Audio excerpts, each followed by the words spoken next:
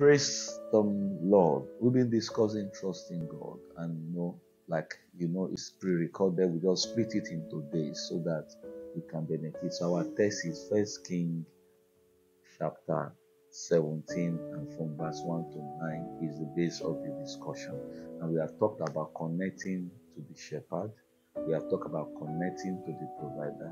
And we have also said to that you must connect to the all sufficient God. Now, today, we want to take it a step further.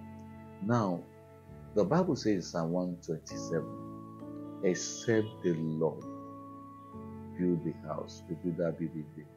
Except the Lord watch over the city, the watchman will get it. And you see, you say it is shameful, it is reproachful for a man to wake up early morning, rush out, come back, and he eat only bread of sorrow, and that not be our portion. And I find out that the Bible says, not by power, Zechariah 4 6, not by might, but by my spirit, says If you accomplish so much and God is not in the center of it, there will be vacuum. That's why I say that it is the Lord that maketh rich, the blessing of the Lord maketh rich had no sorrow. Every kind of blessing makes rich, but may not be without sorrow, may not be without worry, may not be without the vacuum of need.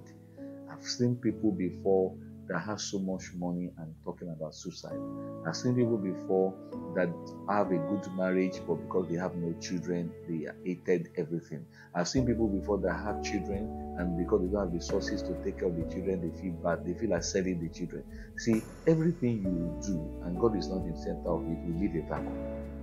And that's why they say, except the Lord builds. So, except you trust God in whatever you are doing, the vacuum of want will still be there.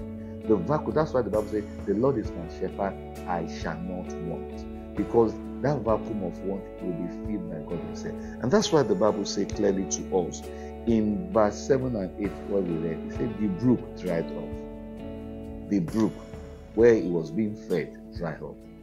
And now there are times it is God that asks you to start that business. It is God that asks you to go to the relationship. It is God that asks you to do it, but doesn't avoid storm. Jesus was with the disciples in the ship, and there was this storm. But God wants you to trust Him. The disciples were trying to use the energy to stop the storm, but He didn't stop the storm until they trusted Him to stop the storm, and the storm stopped. Maybe you are going through a storm now. The Prince of Peace is waiting for you to hand over the battle cast your burden unto the Lord, for He cares for you. God bless you.